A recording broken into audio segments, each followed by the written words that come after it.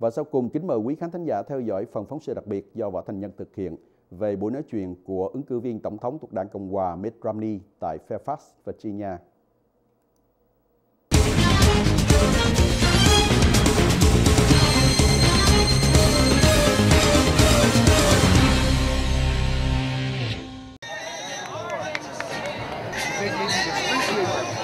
That's golf.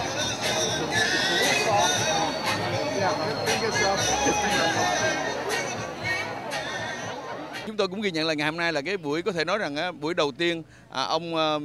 ứng cử viên của đảng Cộng hòa là ông Mitt Romney à, đến đây để mà tiếp xúc lại à, những cái người dân ở cái quận Fairfax. Và chúng tôi cũng được biết rằng là quận Fairfax nơi có rất đông người Việt Nam đang cư ngụ và hiện nay ở quận Fairfax có khoảng 7.000 người Việt Nam có cái, cái có cái điều kiện để mà ghi danh đi bầu do đó nên à, những cái cuộc tiếp xúc như vậy có thể là đây là những cái điều kiện những cái cơ hội để cho người Việt Nam với chúng ta à, có thể ghi danh đi bầu cùng lúc chúng ta hiểu được à, lập trường cũng giống như là hiểu được những cái quan điểm về vấn đề à, kinh tế vấn đề giáo dục về vấn đề chính sách ngoại giao vấn đề an ninh quốc gia hay là những vấn đề có liên quan tới người Việt Nam đặc biệt là vấn đề nhân quyền ở trong đất nước của chúng ta. Do đó nên à, chúng tôi à, hồi sáng này trên đường mà chúng tôi đi vào từ bên ngoài đi vào đó thì chúng tôi đã gặp được một phái đoàn của những người phụ nữ Việt Nam họ mặc áo dài màu vàng, họ có sọc đỏ ở trên vai của họ. Họ có những cái chiếc chiếc cái dù để mà che nắng, cũng có cái biểu tượng của lá cờ quốc gia của chúng ta. Do đó nên à, chúng tôi ghi nhận rằng là bên cạnh à, những người như vậy thì chúng ta cũng hiểu được là à, một số đông của đồng hương Việt Nam với chúng ta trong quận ờ, Fairfax ý thức được cái trách nhiệm của mình. À, bên cạnh vấn đề mà chúng ta đến để tham dự những cái buổi mà à, hiện diện của những ứng viên à, của tổng thống Barack Obama hay là những ứng viên giống như ông Mitt Romney, à, ông Governor Romney thì chúng ta đều thấy được rằng đó là lá phiếu của người Việt thì chúng ta rất là quan trọng và quan trọng hơn nữa là khi mà cái tiểu bang Virginia là một trong những tiểu bang mà nó có khả năng nó thay đổi được à, ai à, sẽ là cái người mà thắng cử ở đây với một cái lượng phiếu rất là nhỏ và là khích khao. Do đó nên trong chương trình ngày hôm nay thì chúng tôi còn ghi nhận thêm một điều như vậy nữa là những người thiện nguyện của quận Fairfax hồi sáng hôm nay rất sớm họ đã có mặt để mà họ tạo điều kiện chỉ dẫn cho những người mà à, chúng ta gọi là những người ở địa phương, những người được mời hoặc là những người ghi danh đến để mà tham dự cái buổi ngày hôm nay và chúng tôi ghi nhận là rất đông báo chí của à, Hoa Kỳ đã có mặt ở đây ngày hôm nay. Bên cạnh đó thì chúng tôi được à, dịp tiếp xúc với là một vài nhân sĩ. Sau đây là chúng tôi xin được kính mời quý vị theo dõi một số những phỏng vấn của chúng tôi có được trong cái buổi mà chúng tôi đi tham dự khi mà ông Mitt Romney đến tại Fairfax, Virginia. Hôm nay đấy thì ông Romney ông đến đây ờ, nói chuyện ở phía Bắc Virginia đó ờ, về một số những cái quan điểm ờ, căn bản của cái liên danh của ông ấy cũng như là của Đảng Cộng hòa việc trước nhất là nó có vấn đề những cái giá trị gia đình thì phải nói rằng là chính ông Romney ấy là một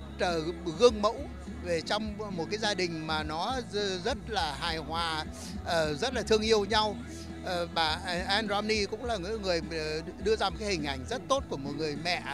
mà ờ, chăm sóc cho gia đình. Về cái phương diện đó đó thì phải nói rằng là ông Romney ông rất gần gũi với lại những cái giá trị của người Á Đông nói chung và đặc biệt của người Mỹ gốc Việt nói riêng. À, cái lá phiếu của người Việt Nam tại vùng uh, Virginia và nhất là quận Fairfax rất là quan trọng.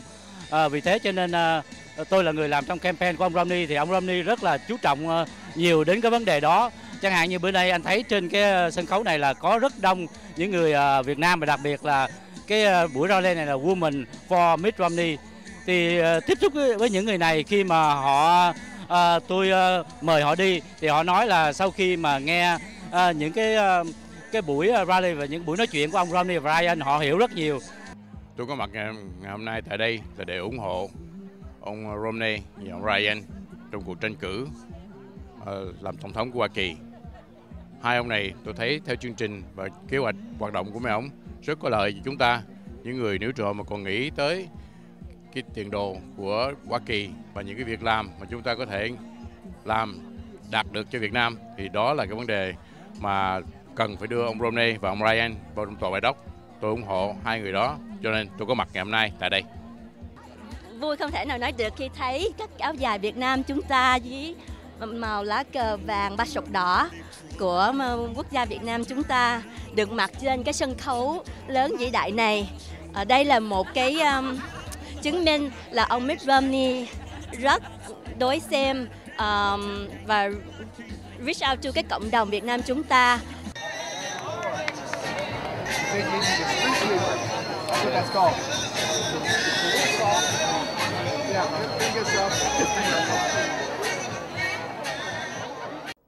Kính thưa quý vị, đến đây chương trình phát hành của bản tin qua tình đốn sẽ được chấm dứt. Cảm ơn quý vị đã theo dõi. Kính chúc quý vị những giờ phút còn lại của ngày hôm nay thật an lành và hạnh phúc. Chúng tôi xin kính chào tạm biệt và hẹn gặp lại quý vị vào kỳ phát hành lần tới.